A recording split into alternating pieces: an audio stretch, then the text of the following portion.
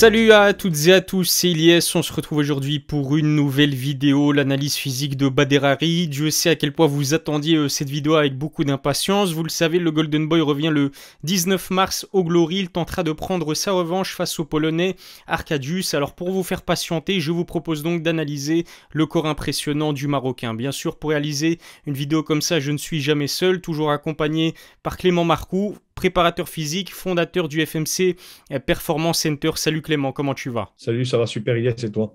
Ça va super. Et franchement ça c'est l'une des analyses physiques euh, dont j'avais que j'avais le plus envie de faire en ta compagnie. Donc vraiment j'attends euh, j'attends euh, tes réponses. Tu le sais c'est une surprise pour personne. C'est un secret pour personne. Baderari c'est un sacré monstre. 1m98 généralement plus de 110 kg à la pesée. Esthétiquement c'est souvent très impressionnant aussi surtout à son époque du K1 à l'image d'un Anthony Joshua en boxe ou d'un Francis Ngannou au MMA il a vraiment le physique d'un combattant dangereux ah oui, complètement. Il fait 213 cm, tu sais, d'allonge. Il a des longs segments, il a un long humérus, un long radius, c'est une ceinture scapulaire large. Pareil, il a des clavicules larges, comme on dit dans le jargon. Euh, c'est vraiment quelqu'un, surtout ces dernières années, qui s'est vraiment développé énormément au niveau de sa musculature. De Il a aussi des insertions qui sont assez incroyables. Il a un bassin très large, comme tu pourras le voir sur, les photos. Harry, moi, c'est le boxeur, enfin, c'est le combattant, tout sport confondu, que, qui m'a le plus impressionné que j'ai vu en vrai combattre. Je l'ai vu, hein, j'ai eu la chance de le voir combattre à Lyon, tu sais et euh, contre Grégory Tony. Et c'est le combattant qui m'a le plus impressionné de, toute ma vie. Tout sport confondu, hein, en termes de puissance. Hein. Ce qui générait, c'était incroyable. Et d'agressivité aussi. Ah, c'est ce que j'allais dire, hein, parce que je me souviens que cette phrase de ta part m'avait vraiment marqué. Je me souviens que tu me l'avais dit euh, quand on avait analysé le physique de Jamel Ben Sadik et de Rico Verhoeven. Et j'avais justement envie de te demander qu'est-ce qui t'a choqué le plus quand tu as été euh, voir la performance de Bader sur place à Lyon? Ça fait penser à pas Francis, il est moins costaud quand même que Francis. Hein. À part, il y a eu des moments où il était aussi costaud, mais moins génétiquement parlant, on va dire, il est moins mhm. costaud que Francis. Mais tu sais, il, a, il a, comme il a des longs segments et une ceinture scapulaire large, il génère une. En fait, tu as l'impression que c'est comme une fronde, tu vois. Et je vois pas d'autres. C'est comme une catapulte. Il met des crochets larges avec. En plus, il y a cette mauvaise intention qu'il a sur les coups. Il met du crochet, mais d'une puissance. Tu sais, il, il, envoie ce cross du droit, il remonte au corps. Tu vois, après, il remontait son crochet du gauche et chaque coup, il est pour détruire. Et ce qui m'avait bluffé, c'était l'ancrage qu'il avait euh, sur ses appuis. C'est, il était, il était, il avait la garde très haute, très hermétique. Il revenait depuis longtemps. Il avait fait une prépa de malade pour revenir pour ce combat contre Greg Tony. Et les deux premiers coups qu'il a mis, j'ai dit, qu'est-ce que c'est ce truc? Je te promets. Et j'avais vu juste avant, j'avais vu, euh, ah, je ne me rappelle plus, Daniel Guita, je crois que c'était, un monstre aussi en Kawan, et Tyrone Spong qui avait mhm. combattu dans la soirée. Donc, on peut dire, j'avais vu des tueurs. Hein. Et, euh, et, franchement, euh, comme, euh, comme lui, j'ai jamais ressenti ça pour ma part, une telle puissance. Je sais qu'on en a souvent parlé ça aussi, mais est-ce que c'est une question de, de fibre musculaire rapide pour expliquer cette puissance? Parce qu'il a des prédispositions, c'est-à-dire qu'à la majorité, tu sais, on va pas parler de préférence, on va parler de, de dominance, tu vois. Bien sûr que lui, il, il a une dominance de fibre rapide. D'ailleurs, c'est ce qui fait qu'il est pas très endurant. Hein. Euh, par contre, tu vois, il le paye sur l'endurance.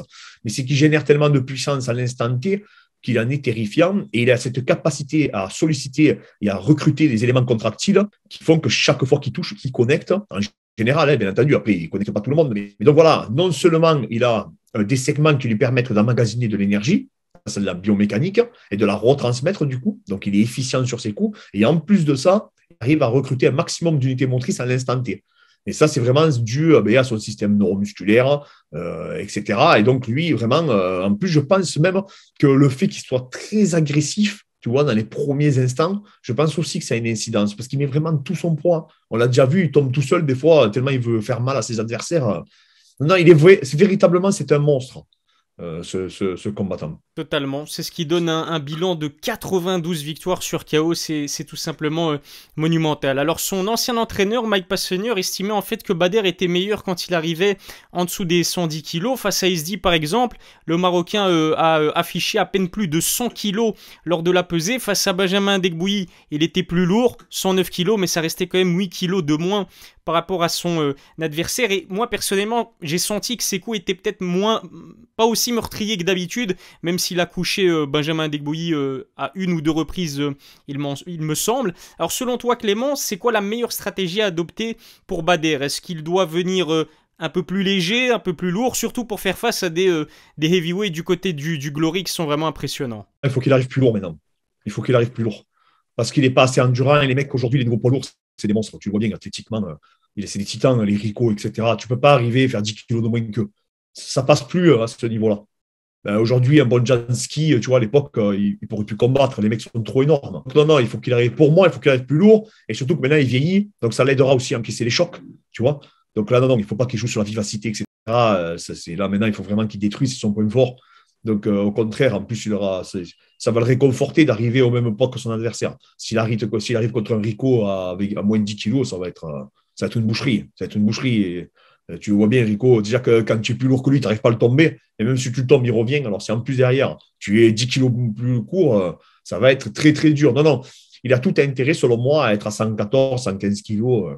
Surtout quand tu vieillis, on est, comme on dit, on est toujours plus lourd quand on vieillit on, a plus tendance à monter de catégorie qu'à descendre. 37 ans, hein, quand même, Bader, le, temps passe et c'est clair et net. Moi, je suis totalement d'accord avec toi. Alors, euh, tu parlais de Rico Verhoeven, justement, venons-en à, ces fameux combats. On se souvient que Bader a quand même réussi l'exploit de, de mettre au sol Rico Verhoeven à deux reprises lors du, euh, lors du rematch. Au premier combat, je trouve qu'il a fait un beau premier rang de Bader, mais malheureusement, une blessure au, bras et ensuite une blessure euh, à la jambe lors du deuxième combat a fait en sorte qu'il s'incline à deux reprises contre le champion incontesté des poids lourds du Glory. Comment est-ce que tu l'expliques? Est-ce que c'est parce que Rico est trop solide ou est-ce que ça s'explique aussi par euh, l'inactivité du Marocain entre 2015 et 2016 Ou les deux peut-être? Ah, c'est Rico, c'est un rocher, hein, tu vois bien. Euh.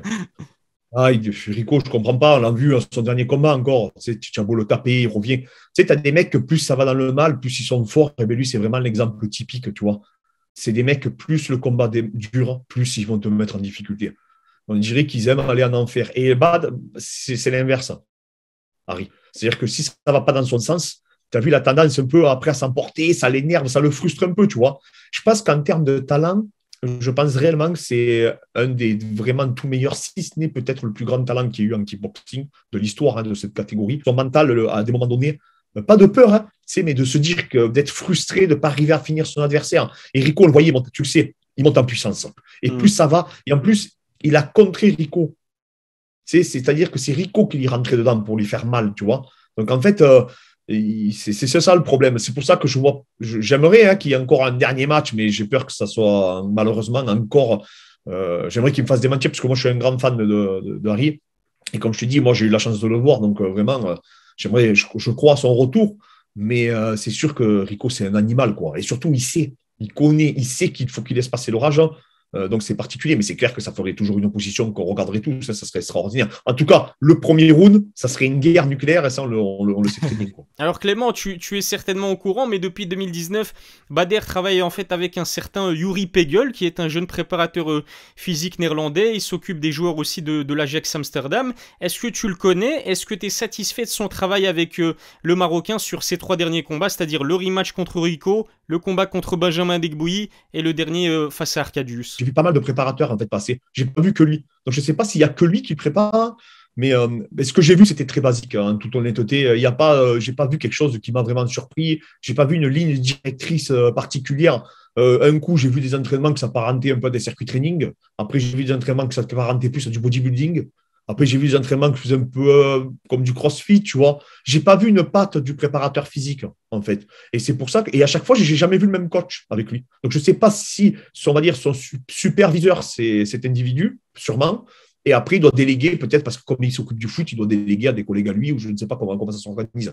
Mais après, je ne sais pas réellement si ça a eu une incidence. Euh. Clément, il me reste une dernière question déjà euh, à te poser, une question très importante comme d'habitude. J'aime bien finir avec ce genre de questions, mais quand un athlète affiche euh, un physique aussi monstrueux que celui de Baderari, il est souvent accusé de, dopage. Le Marocain n'échappe bien sûr pas à la règle, d'autant plus qu'il a été contrôlé positif aux produits dopants face à Hesdi. Hesdi aussi d'ailleurs a été contrôlé positif aux produits dopants pense, qui fait que la victoire de Bader a été transformée euh, en no contest. Est-ce que les soupçons, ils sont encore justifiés, encore aujourd'hui, le concernant, donc euh, Bader euh, Là, le problème, c'est global. Hein. C'est pas, c'est pas Harry qu'il faut viser.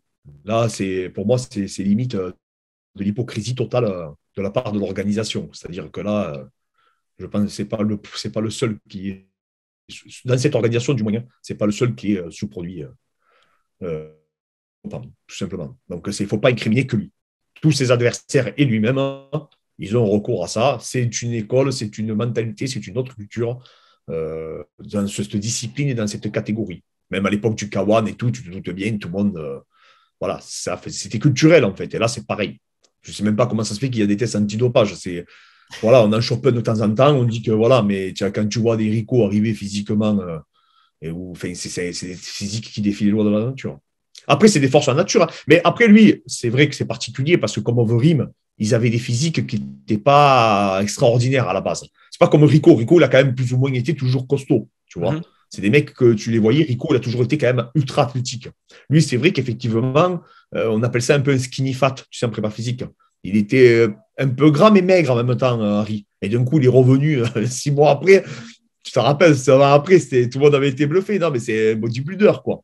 Mais après, là, pour moi, c'est bien sûr qu'après, c'est philosophique, hein, ce que je te dis. Hein. Mhm. Je peux comprendre que les gens disent oui, c'est pas normal, il faut pas se doper. Je comprends, je ne défends pas ça.